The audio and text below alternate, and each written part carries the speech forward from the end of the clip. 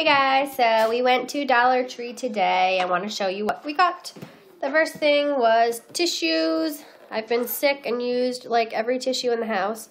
So we got this cute Minnie and Daisy box.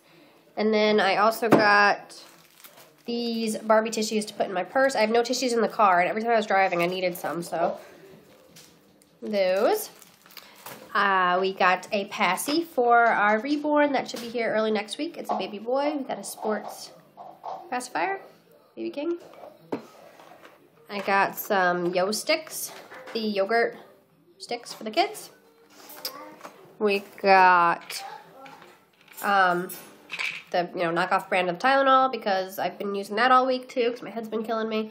So we're almost out.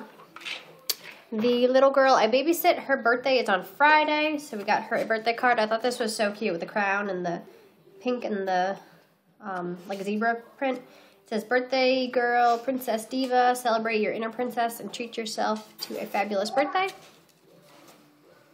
If you follow me on Instagram, you know that the kids had their book fair yesterday, but I still, I get bored of reading the same books so easily. So I got another SpongeBob book, they didn't have a ton of like older kid books. They had a ton of baby books, but um, and then I saw this. Oliver loves Angry Birds, and the Angry Birds, um, Angry Birds in Space Two, something just came out yesterday.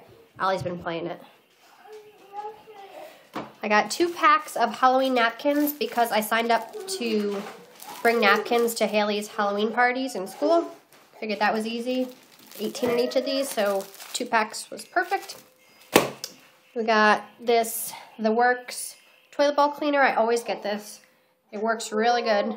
I was joking that The Works works. I always get this kind.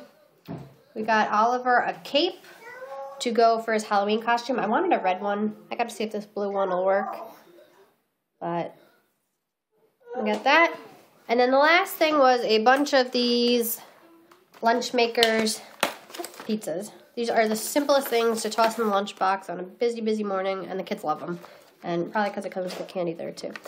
But, yep, that was it for Dollar Tree, and I'll see you guys next time. Bye.